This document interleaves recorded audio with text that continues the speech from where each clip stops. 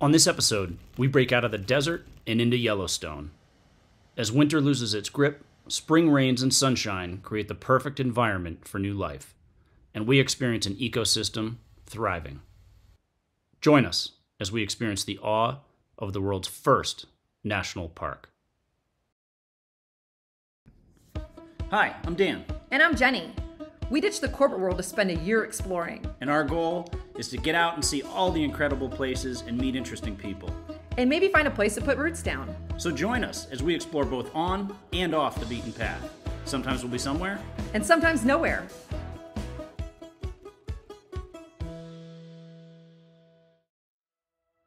In the late 1800s, the country was putting itself back together, and an expedition was coming to an end. As the members sat around a campfire discussing everything that they had seen, an idea was expressed. The idea was that this land was so magnificent, so untouched, so unique, that it should never be privately owned, thus ensuring that all people would have access to its beauty. Three years later, then President Ulysses S. Grant signed an act establishing Yellowstone as the world's first national park. Now, 150 years later, that sentiment and wisdom has been applied countless times, both within and beyond the borders of the United States, all to ensure that people around the world can experience the natural wonders of this planet. While few can name more than a handful of parks, one would be hard pressed to find anyone who doesn't know Yellowstone. To some, it represents the reestablishment of species once on the brink of extinction. There's a tan one laying down and another black one. That black one's walking, yeah.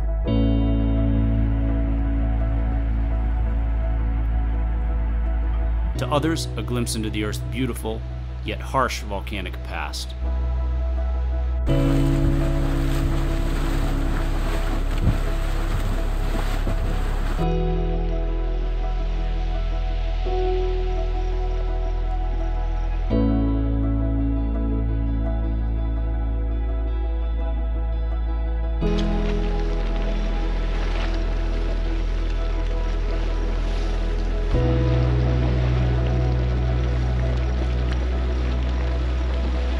Still to others, it represents an opportunity to hike through landscapes seemingly untouched by the outside world.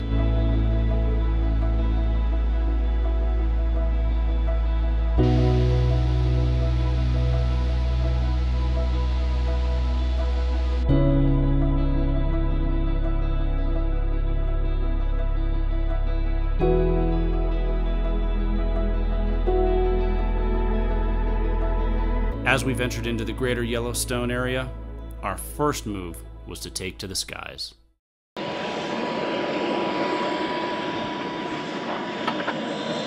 never been on a helicopter before.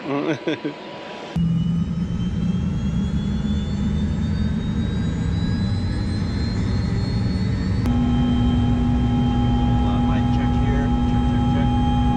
Got it. Alright, we need some more little checks real quick. That's right. I'm not scared.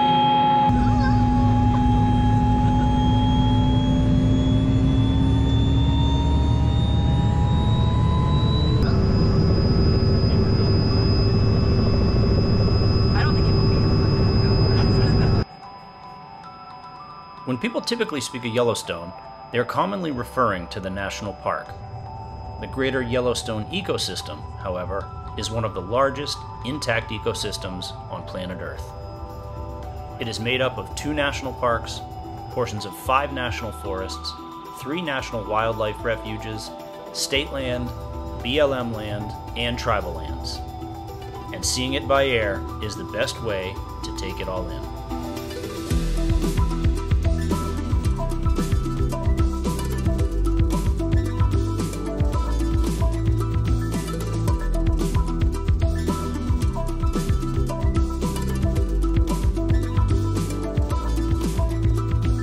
Initially nervous, Jenny quickly settled in to enjoy the bird's eye view.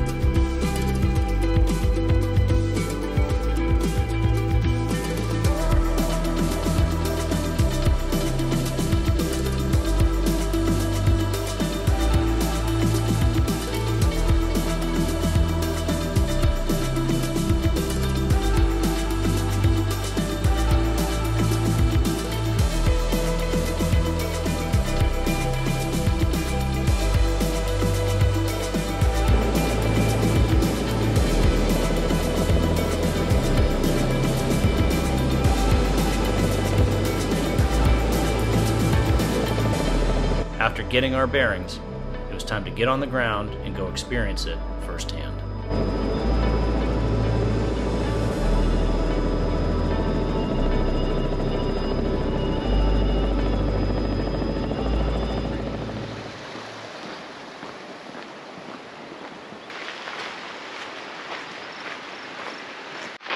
All right. Good morning, everybody, from the Fairy Falls Trail In Yellowstone. in Yellowstone. Somewhat heavily trafficked, which for two brown bear rookies is the thing for us. So this is our first pop the cherry hike in brown bear country. Yep. And So I'm uh, gonna protect Dan. yeah, exactly. but we've got our bear spray. They say to get it out in any area, make noise and then get it out in any areas that seem a little weird. So we've had it out for about an hour now. So far we've zapped four chipmunks, a bird, No, I love the chipmunks. and a little kid. yeah. So we're well practiced on our aim. And uh, anyways, this brings us to a waterfall, I think they said too. Yeah, 200 foot high waterfall. 200 foot high waterfall. And uh, then uh, another geyser if you go past it that erupts intermittently or often. So I, I don't really know what that means, but all right. Find out. We'll find out. We're gonna make some noise here Yep. so that we find out. We are in the woods. yes. All right. See you in a bit. Gotta find me a stick.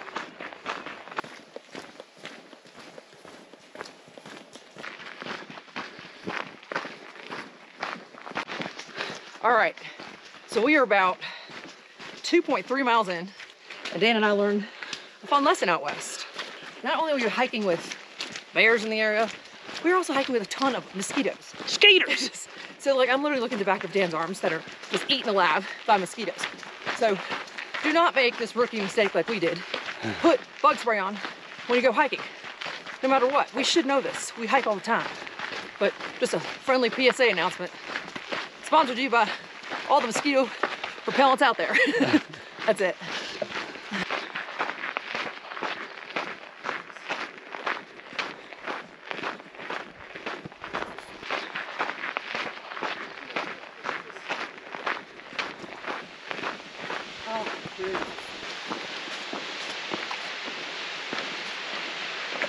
Look at those waterfalls.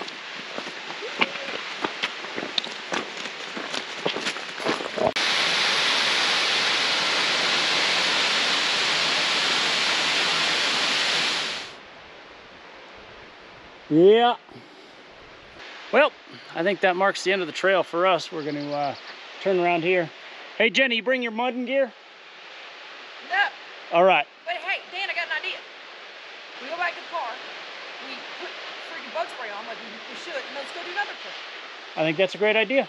So, Jenny wins with the good ideas. Win! We're going to uh, go put bug spray on, try a different trail. Ping!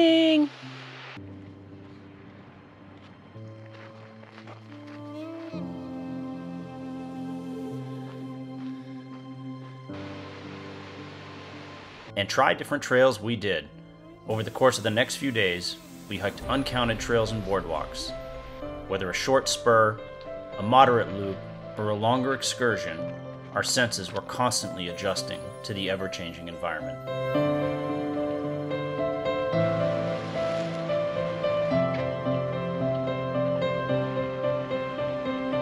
One moment, the smell of sulfur would be so thick it would make our eyes water.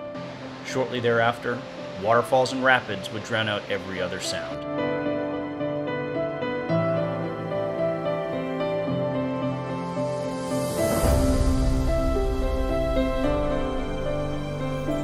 And everywhere we went, our eyes struggled to keep up with what the environment had to show us.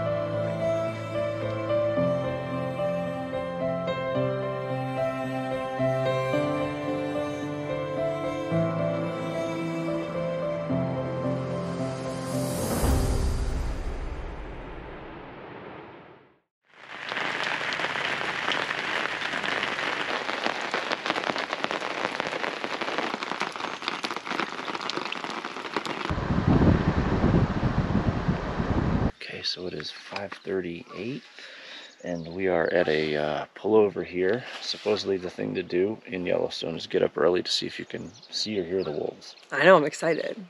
So we got up early. it's a little foggy. It's 36 degrees and foggy. and it's so- June 5th and it's 36 degrees, which is Yeah. so awesome. Yeah. So we're at a site that yesterday Jenny saw a fresh uh, coyote kill of a goose. So we're hoping the fog burns off a little bit. Maybe we can see something. We'll see.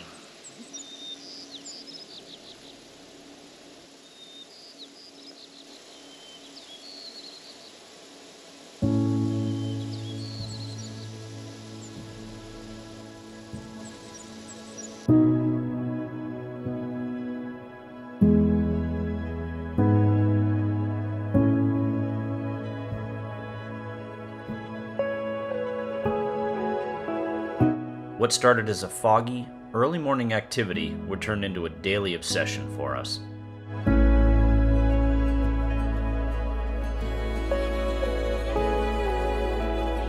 This ecosystem is home to the greatest concentration of mammals in the lower 48, and every day we would wake up early with anticipation on what we might see that day.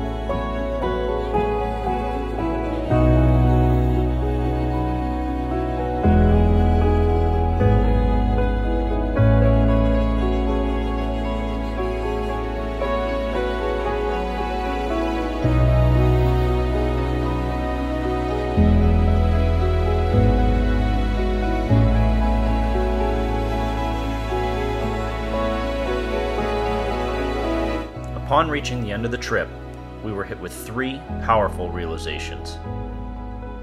First, what started here in Yellowstone 150 years ago is a blessing for humankind and is a testament to American values. Rather than being reserved for royalty or the wealthy, lands like this belong to the people. Second, for wildlife and outdoor enthusiasts, there is no greater place to experience than Yellowstone. Quite simply, everyone should make the time to experience this at some point in their lifetimes. Third, with nearly half of our year in the rear view, there is simply too much to explore with the time remaining, so difficult decisions will need to be made. Those decisions, however, can wait. We hope that you've enjoyed experiencing Yellowstone through our eyes. Until next time, take care and be well.